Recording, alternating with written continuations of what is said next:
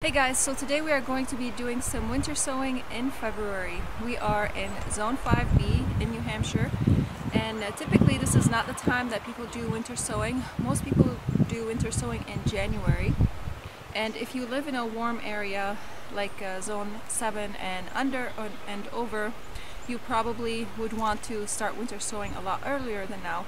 But for us over here where we live in a cold environment, Zone 6, 5 and and uh, the zones below that, uh, you can do winter sowing during this stretch of time. And this is perfect for things that require stratification or plants that love the cold. Stratification is simply exposing the seed to a cold period before uh, it can germinate. Some plants require that period of stratification and uh, since I am going to be starting some perennial flowers I thought that this would be a perfect way to start these flowers uh, by uh, having them winter sowing them outside. So this way I am saving on space inside in my grow room uh, because I have a lot of plants to plant. And also these plants can be exposed to the cold temperatures that they would need uh, without me having them to put them in the fridge and uh, uh, go through that long process. Instead I could just put them here basically set them and forget them because we do get a lot of uh, snow and rain during this period of time. So today is unusually warm for us. It is 55 degrees and uh, it's going to be warm throughout this whole week and then it's going to start getting cold again. Uh, so I thought it would be perfect to film this video for you guys. With winter sowing, all you need is just a clear jug like this over here and uh, you could use a water jug, a milk jug. I'm using orange juice jugs because that's what we have. I'm going to grab my scissors and I'm going to first make some holes at the bottoms uh, because you need some drainage for uh, the water to escape from this container otherwise you're going your seeds are going to be waterlogged they are going to rot and uh, let's say they do germinate uh, and you do get some rain uh, or a lot, a little bit of rain or a lot of rain, all this is going to be waterlogged and uh, whatever plant you had in there is going to rot. So the very important thing that you need to do is to poke a hole in here and I know I said that poke a few holes in the bottom and I know I said that I'm not going to be doing winter sowing this year but uh, here I am doing winter sowing because I thought that I could save some space inside. I think instead of this scissor I'm going to need a knife poke some holes in here. Or you could also use a drill. But I could just take the scissor and make a cut in here. And I'm cutting about halfway through this uh, container.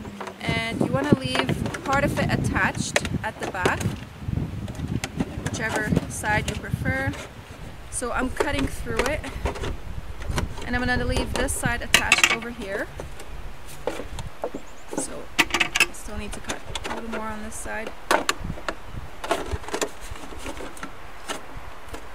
There we go. So it kind of opens up like this.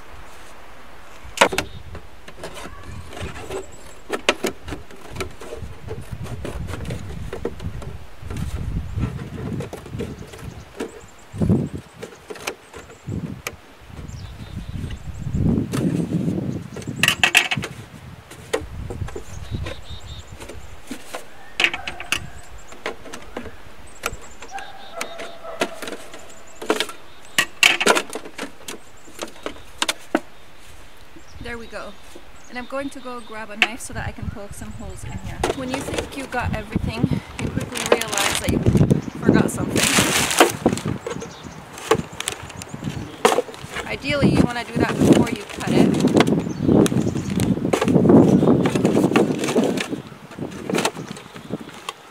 So I like to poke four holes in there just to make sure there's uh, good drainage.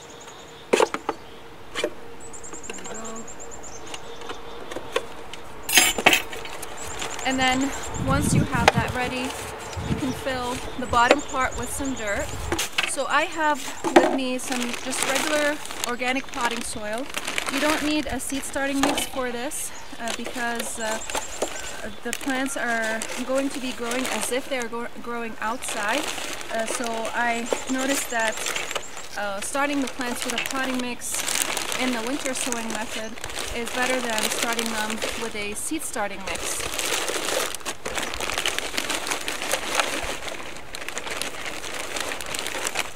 Because the plants are going to be uh, growing outside and uh, when you get to them by the time you want to take them out and uh, plant them in the ground they would have already grown a lot so starting them in a potting mix is going to be better because a potting mix is going to have a lot more nutrients than a regular seed starting mix uh, especially that they are going to uh, go not just through the seedling stage but also through the um, kind of uh, medium stage of growing uh, right before you plant them in the ground.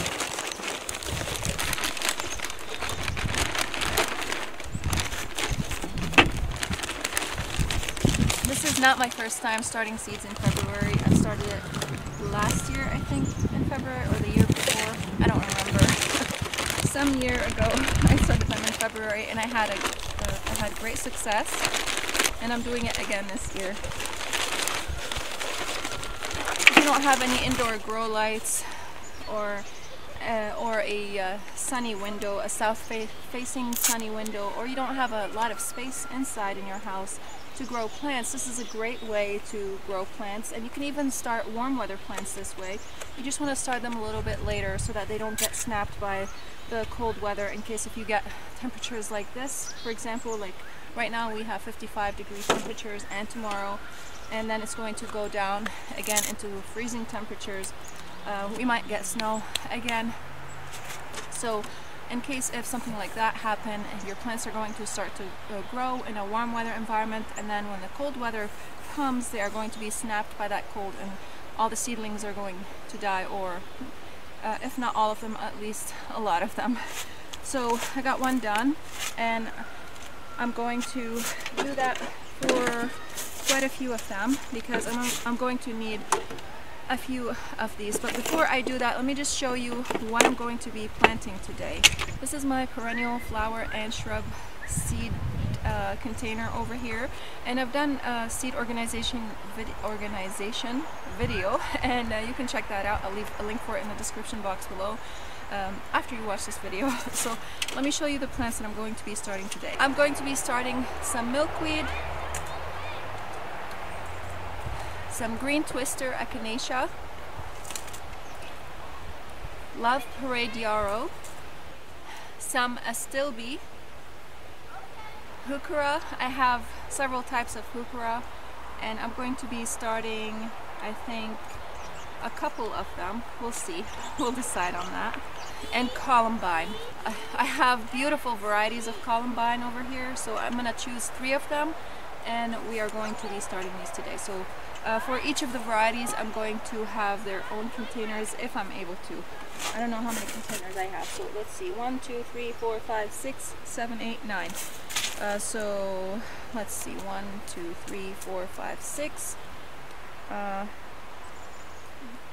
all right, so I'll do the heucheras in one container and the columbines in separate containers because it's important for me to have a whole a lot of these the heucheras, I can have them in one container and just have one variety this year. And then next year, I'll plant some more varieties. Or I can plant two varieties and I'll separate them into two different spaces.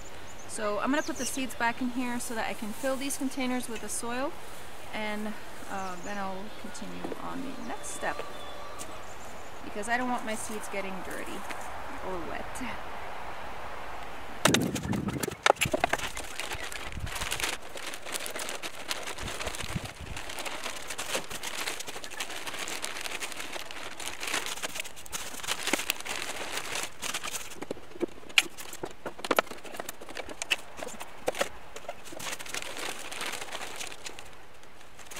I'm going to start with these three containers over here just to make sure that I can get something on film just in case if the battery dies and I don't have an extra battery.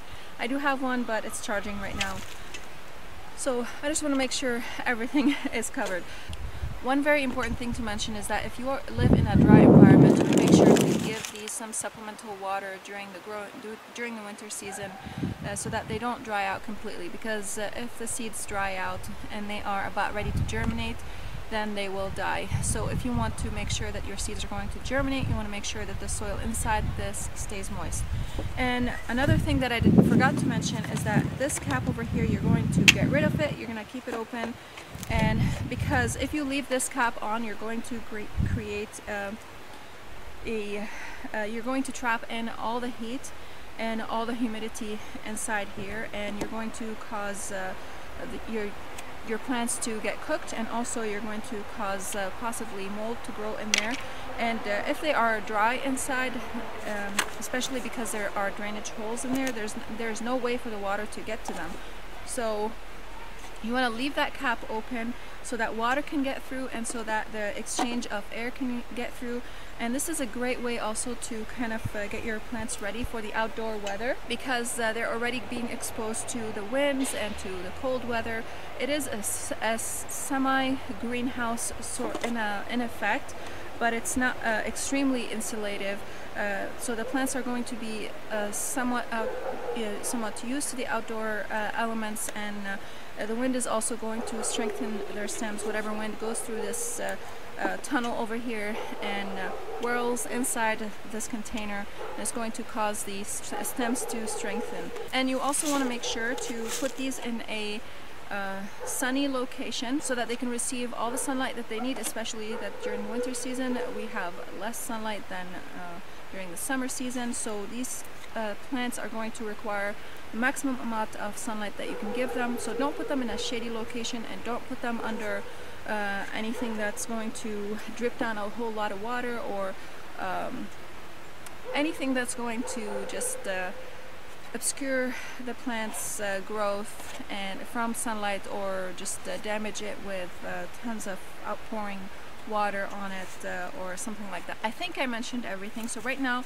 I'm going to start planting the yarrow and you want to follow the package direction and this is a perennial in our zone. I believe it's a perennial from zones 5 to 8. Okay and they grow from 1.5 to 2 feet tall and they are frost hardy so this is perfect for winter sowing because especially because they are a perennial and these also love to be in full sun. Surface sow so this package requires to be surface sown so I'm just going to put the seeds on the surface of the soil and I'm just gently going to press them down.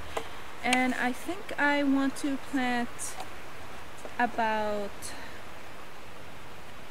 let's see, one, two, three, four, five, about nine or ten plants in here, ten seeds in this container. And it sounds like the seeds are super small also. So I'm going to have three seeds in each side and I'm going to make an indentation on where I want to plant them.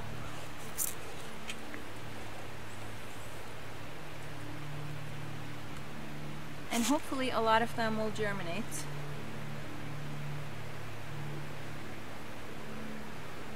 I probably should put two seeds in each location just in case if one of them decides not to germinate.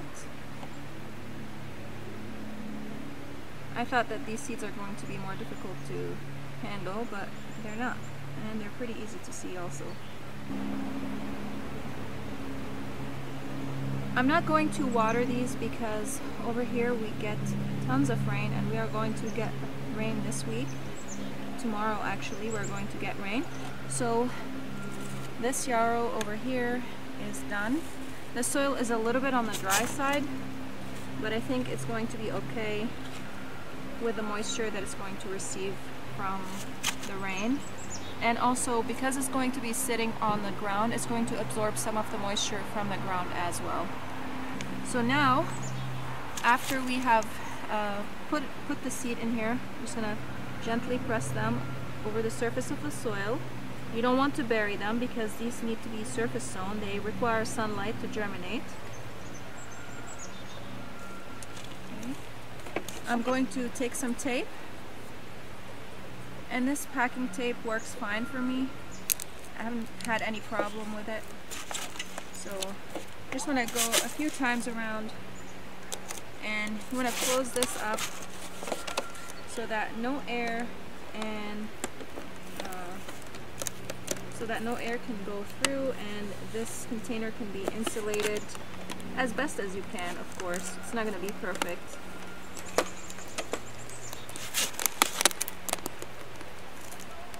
I like to go around a few times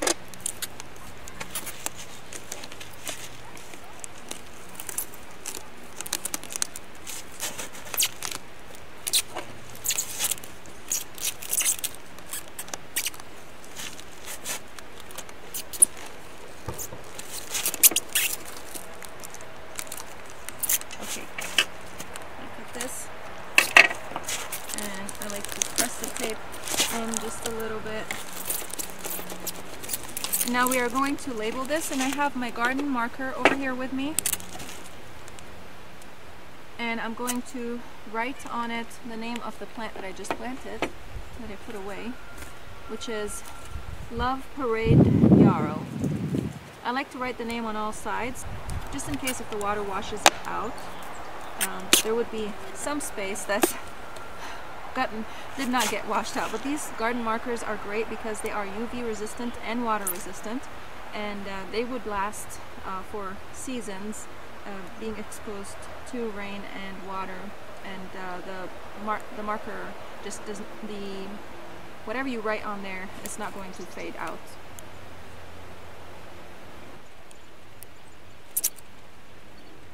And I like to write on the top and on the bottom as well because eventually this is going to be taken out uh, when you want to uh, kind of uh, have the plant harden up a little bit more after the season, uh, the cold season is done. You open this up uh, and you can leave it in here for a little bit longer before you plant it in the ground.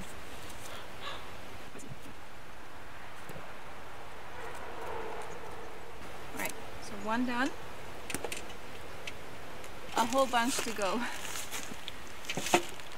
Now going to plant the green twister echinacea. And echinaceas I believe are hardy to zone uh, 4, but this packet doesn't say to what zone they are hardy. And it also says to sow at eighth of an inch depth. So I'm going to do the same thing I did with the other one. Just do a little, a little indentation in the soil and then we can cover it with some more soil.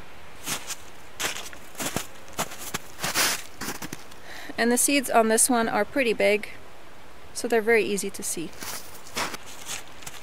I'm also going to plant two seeds in each hole, just to make sure I get a good germination rate. If I get more plants, that's great. if not, that's okay also at least I would have ensured that I got the amount of plants that I need. Okay, so now I'm going to cover them with a little bit of soil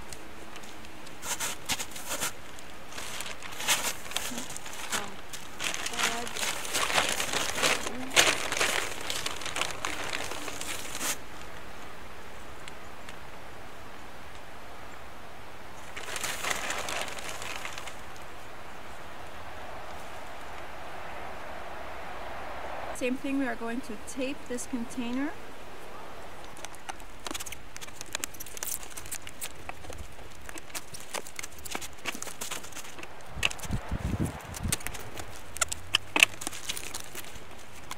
and write on it its name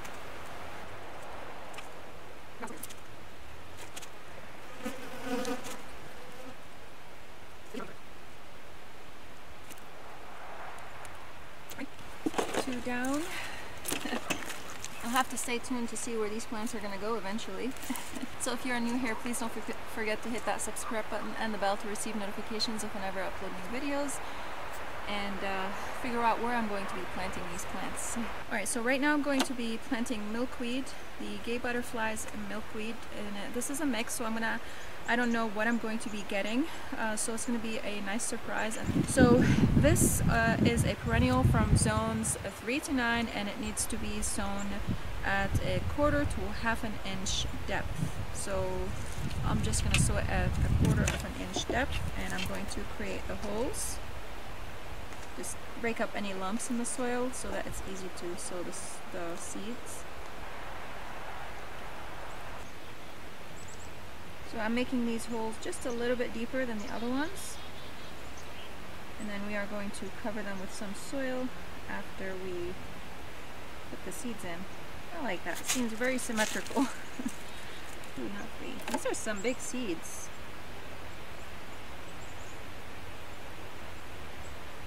And I have great luck separating plants from each other when they are in the seedling stage. I've never had any problem with that. The plants do struggle a little bit at the beginning, but then they just bounce back up and they do great.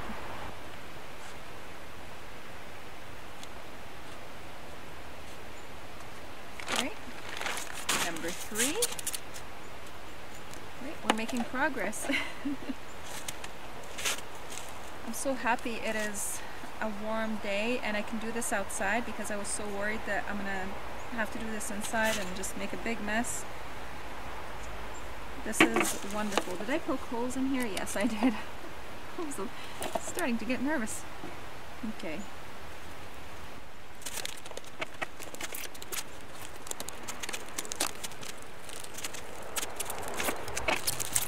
You can see it doesn't have to be perfect. There are so many imperfections in all of these. And of course, don't forget to take that cap off. Three down. Oh, forgot to label this.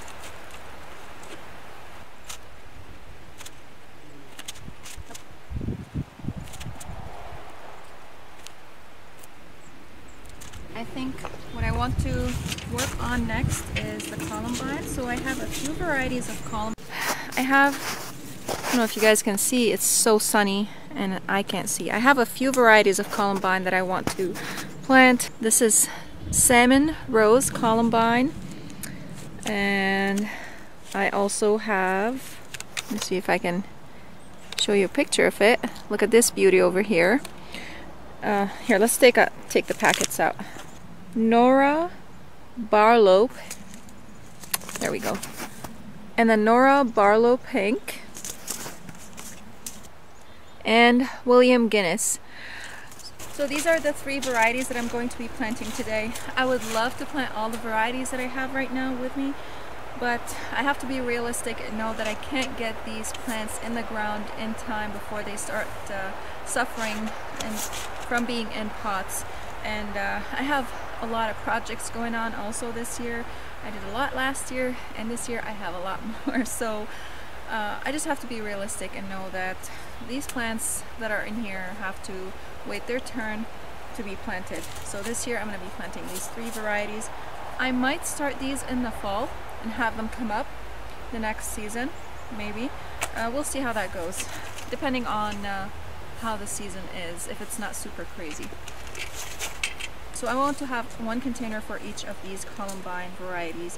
This way I can have tons of them in one location uh, and not just have a few of that same variety in one location because it kind of will look sparse. I like a big drift of columbine.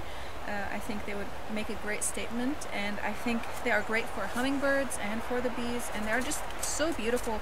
These two different varieties, the salmon rose, the, the clementine salmon rose and Nora Barlow pink are just so different than your usual columbine and I am uh, very happy to be starting them right now because they're just an unusual, unusual columbine. You don't see these uh, grown typically.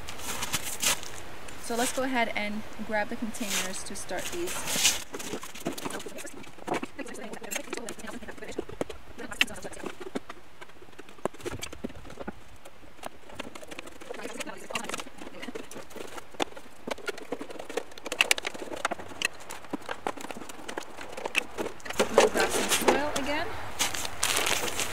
see I'm not very particular about my potting mix because I don't have a great selection in our area. And uh, I just grabbed this bag from Home Depot because they don't have soil out uh, they don't have uh, soil in their outdoor section right now. All the soil is indoor. And this mix looks a little bit dry. It's alright will absorb the moisture from the as it works it in, as it melts. I'm gonna drop stuff on the ground.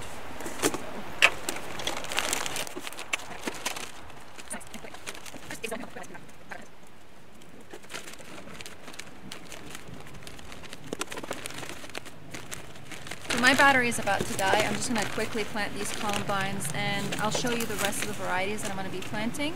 Uh, but if I am not able to finish this video, I just want to say thank you guys so much for watching. I hope this video was helpful to you and I hope you learned something new. And if you have any questions, please leave them in the comment section down below. And if you also have any tips or tricks on winter sowing or any other method that uh, will allow people to plant uh, plants outside without any grow lights or anything of the sort so that they can get a jump start on the season. Uh, if you have any tips like that, please leave them in the comment section down below. I have some other ideas and I will be sharing these with you in the future as I get to them and uh, as I have the time to. Right now I wanted to share winter sowing with you and uh, this was not on my plan but here we are, we're doing it. So I'm going to start with this variety first, the Clementine Salmon Rose, and it says to just cover to just press it onto the soil to not cover it. And this plant likes full sun to partial shade. I have a lot of places like that right now that I will be I will have access to as I clean up my wooded area over here. I'm so excited. I love these columbines. They're, they look so charming. Not a lot of seeds in here. No, no, no. No. Okay, well, I guess it's a special variety, so I'm going to have faith in the planting. And I'm going to just put one seed in each place. So I'm going to make an indentation, and I'm going to put one seed in each indentation. I thought I ordered a lot more than that. Uh, well, I could be wrong. Maybe not. Okay, I'm gonna wait for the wind to kind of calm down a little bit because these are very precious seeds and I don't want them to get blown away.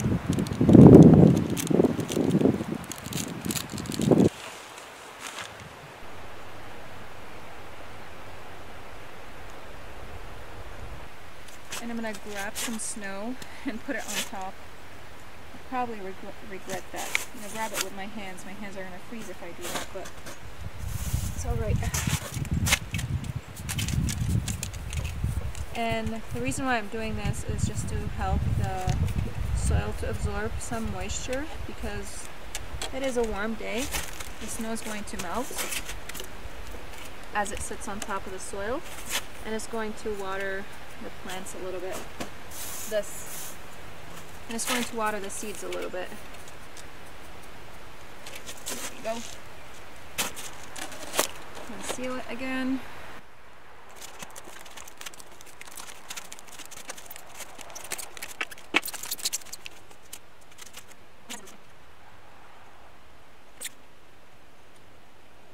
Before I continue planting this columbine, I want to show you the heuchera that I'm going to be starting and the astilbe. So for the astilbe, I'm going to be starting the Chinensis pumila. I don't know how to pronounce that.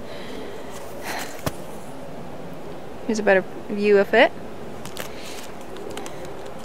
And for the heuchera, I'm going to be starting uh, the Micrantha Palace Purple. There it is. Actually, for the heuchera, I'm going to try two varieties. So I'm going to do, where's the green one? There we go. We're going to do this one also. And this is the Sanguinea Firefly. Sanguinea Firefly? Is that how you pronounce it? I just wanted to show you what heucheras I'm going to be starting what and what astilbe, just in case if I don't have the time to finish this video again. So uh, let's go ahead and finish uh, these uh, containers and as I see some progression with them I'll update you on them.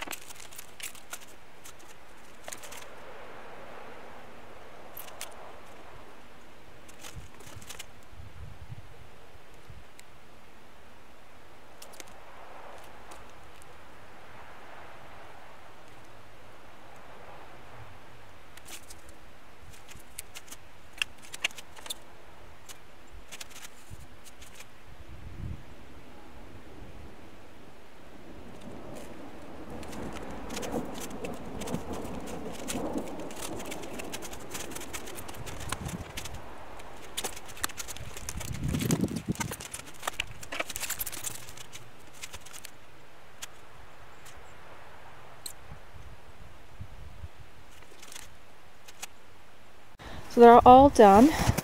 And uh, I put them right here uh, all together clustered together. This way they can kind of keep each other warm. And I put snow in all of them. And uh, with the last three I had to shove the snow inside the holes. And my hands are freezing right now. They're warming up because the weather is kind of warm uh, right here. And uh, just to make sure that they get some sort of moisture. And this also this snow will also help with the stratification uh, it will allow the seeds to kind of experience some cold temperatures while we have this uh, warm weather right now and um, I ended up uh, having uh, two separate containers for each type of the heuchera. I have two types, the Macrantha Palace Purple and the Sanguinea Firefly, if that's how you pronounce it, I don't know. But these are all beautiful, I can't wait to see them uh, start uh, sprouting and I can't wait to plant them in the garden. I'm so excited about that. And just for reference, this is in front of the butterfly garden there's the butterfly garden right there and so the sun sets on that side and it rises from this side over here so, so they will get plenty of sunshine over here and uh, they should do well. Uh, one thing to note is that one of the years I did winter sowing, I put them in the vegetable garden and uh, that area gets super moist so a lot of the seeds rotted because of that because they were absor absorbing all this moisture and uh, only a few of them uh, survived. So if you are uh, doing this and you live in a wet area, you want to make sure to put them in a uh, uh, in a semi-dry location where they would receive a lot of sunlight and also receive rain and snow just to make sure that they would stay moist.